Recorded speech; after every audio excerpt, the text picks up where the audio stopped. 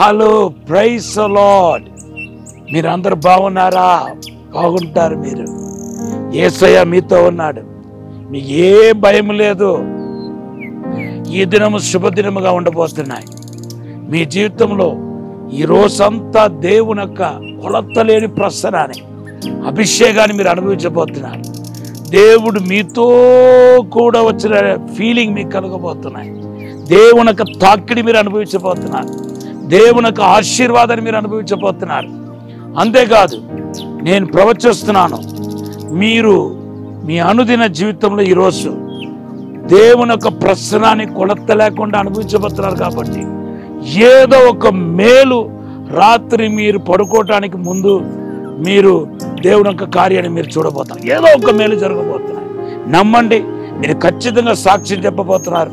దేవుని అసాధారణమైన అద్భుతమైన కార్యం జరగబోతున్నాయి. దేవుని బిడ్డలారా గడిచిన కొన్ని దినాలుగా దేవుని యొక్క జయ జీవితాన్ని గురించి ధ్యానం చేసుకుంటూ వస్తున్నాం. ఇప్పుడు చాలా వర్తమానాలు విన్నారు ఇంకా కొన్ని విషయాలు చెప్పాల్సి ఉంది.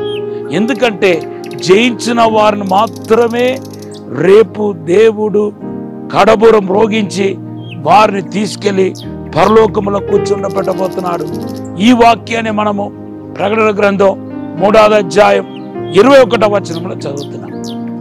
అయితే ఎలాగ మన జయ జీవితం జీవించాలనే విషయాన్ని నేను మాట్లాడకుండా వస్తున్నాను. దేవుని బిడ్డారా దావీదు గొలియాత్ ఎలాగ జయించి రాజరీగ జీవితంలో ప్రవేశించాడో నేను మీతో చెప్పటం జరిగింది. దేవుని బిడ్డారా జయించేవారు కేవలం జయ జీవితంలో మాత్రం ఉండరు. ఇంకా అనేక ఆశీర్వాదాలు వారి జీవితంలో పొందుకోగలుగుతారు. మీరు జయించేవారా? మీరు ఆల్రెడీ జయ జీవితం జీవిస్తున్నారా? మీ యొక్క ఆశీర్వాదం జయ జీవితంతో మాత్రం ముడివేయబడలేదు.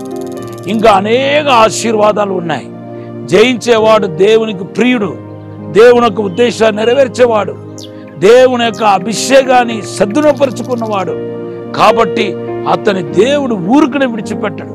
అడుగు అడుగున అడుగడుగున దేవుడు దీవించుకుంటా ఆశీర్వదించుకుంటా వెళ్తాడు. సో దావీదు గోళియాత్ను జయించటమే కాదు తర్వాత ఏం జరిగిందంటే దేవుని బిడ్డారా జయించిన గోలియాతను జయించిన ఆయన రాజ కుటుంబంలో ప్రవేశించాడు. ఒకటి.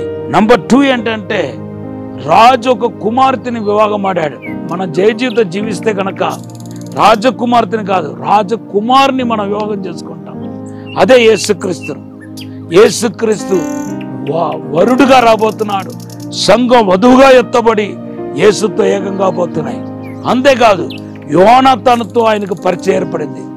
మొదటి సామెల గ్రంథం పద్దెనిమిదో అధ్యాయంలో మనం చూస్తే యోనతాన్ని దేవుడు గిఫ్ట్గా ఇవ్వటాన్ని మనం చూస్తున్నాం. నీ కూడా ఒక యోనతాన్ పరిచయం అవుతాడు. నేను చెప్తున్నాను ఆ యోనతాన్ని నిన్ను ఆత్మీయంగాను లోతుగా ప్రభు దగ్గరకు నడిపిస్తాడు. రాబోతున్న కీడన్నిటి గురించి ముందుగానే నీకు తెలియపరుస్తాడు. ఎవరిని యోనతాన్ అంటున్నానని ఇప్పుడే మీకు అర్థమై ఉంటాయి. అది ఎవరంటే పరిశుద్ధాత్మ దేవుడు. పరిశుద్ధాత్మ దేవుడు మనకు స్నేహితుడుగా ఈ యొక్క భూమిలో తండ్రి చేత అనుకరించబడ్డాడు. పరిశుద్ధాత్మ దేవుడు యోనాథాన్ లాగా నిన్ను పోషిస్తూ నిన్ను బలపరుస్తూ తన వస్త్రమంతా తన యొక్క వస్తువులంతా నీకిచ్చిచ్చు నిన్ను ఎప్పటికప్పుడు బలపరచకుండా పోతాడు. అంతేకాదు దావీదొక్క జీవితంలో ఇంకా అనేక ఆశీర్వాదాలు మనం చూస్తున్నాం. ఈరోజు మీరు యోనాతాను కలిగి ఉన్నారా? యోనాథాన్తో నడుస్తున్నారా? యోనాథాన్ అనే ఆ పరిశుద్ధాత్మ అభిషేకం పరిశుద్ధాత్మ ప్రభావం మీకు ఉందా? మీరు యోనాతాను కలిగి ఉంటే దావిదికి మీరు మొదటి సామ్యాల క్రింద పద్దెనిమిది అధ్యాయంలో చదివితే ఇద్దరు నిబంధన చేసుకున్నారు. ప్రాణానికి ప్రాణంగా స్నేహించారు. ఎందుకంటే యోనాథన్ తనకున్న వస్తువులు తన యొక్క ఆయుధాలన్నీ దావిదికి ఇచ్చాడు. దేవుని బిడ్డారా పరిశుద్ధాత్మ యోనత్తాన్ని దేవుడు మనకు జయ జీవితం జీవించే వారికి ఇస్తాడు. ఆ పరిశుద్ధాత్మ రాగానే తొమ్మిది వరాలు ఇవ్వబడతాయి. మొదటి కొరింథీ పత్రిక పన్నెండవ అధ్యాయం ఏడవ వచ్చిన నుండి చదివితే మీకు అర్థమవుతాయి. అంతేకాదు ఆత్మఫలాలు దేవుడు ఇస్తాడు. గలాతి పత్రిక ఐదు ఇరవై రెండులో రాయబడి ఉంది.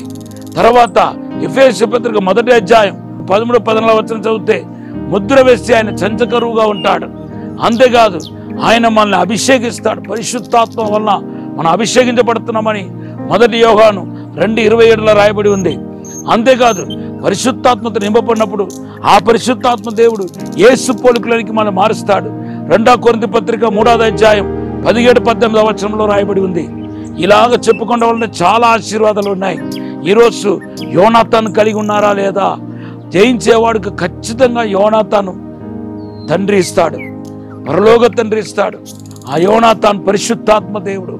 ఆ పరిశుద్ధాత్మ దేవుడు మనతో ఉన్నప్పుడు ఇంకా ఇంకా ఉన్నతంగా మనం దీవించబడతాం. ఈరోజు పరిశుద్ధాత్మ కొరకు ప్రార్థన చేయబోతున్నాను. మమ్మల్ని మిక్కిలిగా ప్రేమించిన మా పరలోక తండ్రి. ఎవరెవరైతే నాయనా తండ్రి జయ జీవితం జీవించడానికి ప్రారంభించారో వాళ్ళకి నైనా తండ్రి రాజరిగే జీవితంలో ప్రవేశపెడతారని ప్రభా రాజకుమార్తెని ఎలా అయితే దావీది వివాహం చేసుకున్నాడో అలా యేసుతో ఎంగేజ్మెంట్ ప్రధానం జరుగుతాయని యోనాతనని పరిశుద్ధాత్మ దేవునగా కార్యం వారి జీవితంలో జరుగుతాయని ఈరోజు మాట్లాడి ఉన్నారు. ఏసు నామలో ఎప్పుడు అభిషేకించండి. రెండు పాలు ఆత్మ దయచేయండి. రెండు వందల అభిషేకం దయచేయండి. పరలోక అగ్ని దిగిన గాక దేవుని ప్రసన్న దిగిన గాక ఈ సాలమోన్ ప్రార్థించినప్పుడు దిగి వచ్చిన అదే అగ్ని అదే అభిషేకం ఈరోజు ప్రతి ఒక్కరి మీద కుమరించబడిన గాక. ఆశీర్వదించిన దీవించి బలపరచమని యేసు నామలు అడిగి వేడుకుంటున్నాము తండ్రి. ఆమె ఈరోజు దేవుడిచ్చిన వాగ్దానం యోవాన్ స్వార్థ పద్నాలుగు పదిహేడు. వాగ్దానం ఎత్తిపెట్టి ప్రార్థన చేయండి. God bless you. ఈ వాక్యం ద్వారా దీవించబడితే మాకు వెంటనే తెలియపరచండి. God bless you.